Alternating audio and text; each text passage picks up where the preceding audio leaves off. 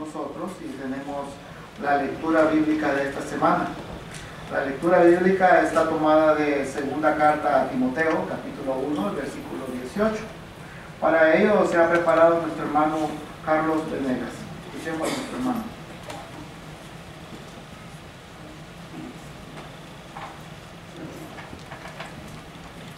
La segunda carta a Timoteo, el capítulo 1, dice lo siguiente.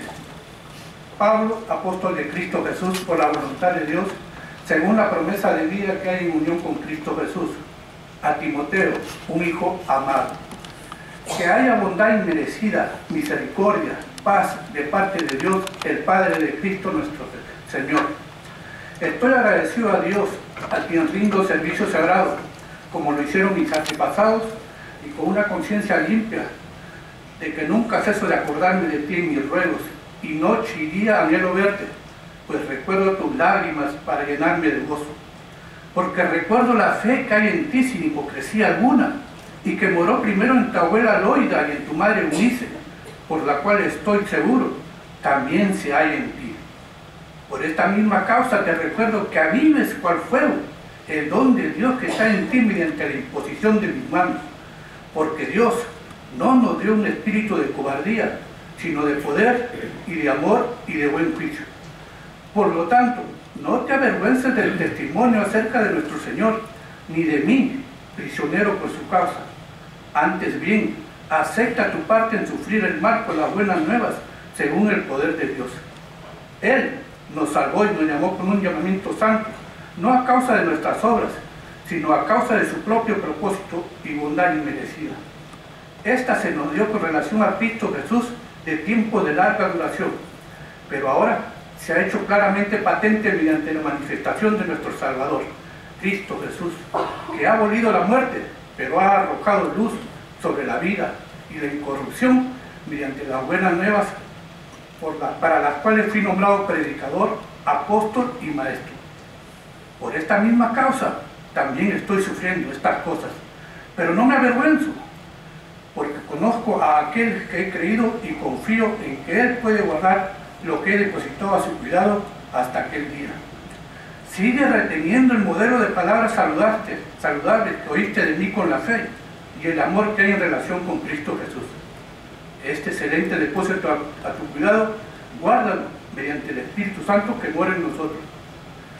Tú sabes que todos los hombres del distrito de Asia se han apartado de mí. Fígelo y Hermógenes son de ese grupo.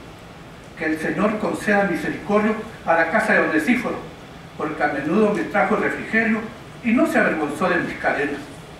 Por lo contrario, cuando sucedió que estaba en Roma, me buscó con diligencia y me halló. Que el Señor le conceda ya misericordia de parte de Jehová en aquel día.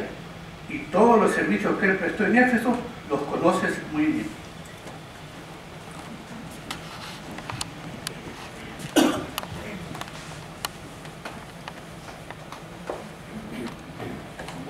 Gracias hermano Venegas. Vemos que usted da mucho énfasis a la lectura, da vida a la lectura. Y usted estaba trabajando en el punto 10. El punto 10 dice modular la voz. Eh, ¿Por qué es importante? Bueno, variar el, el volumen, dice elevar la voz para destacar puntos principales y motivar a sus oyentes.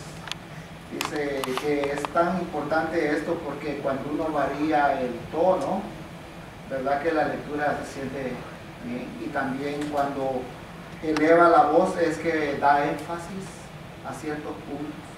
O cuando lee despacio es que viene algo importante.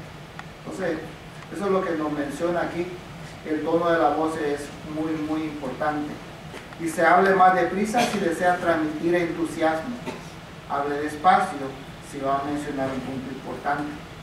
Y dice, eh, varíe el volumen, el tono y el ritmo para transmitir claramente las ideas y despertar emociones. Entonces vemos que usted lo hizo muy bien, hermano, y lo importante que es que cada uno de nosotros, cuando lo leamos, eh, queremos aplicar este, esta información, ya que queremos también darle vida a todo lo que leemos cuando estamos con el amo de casa.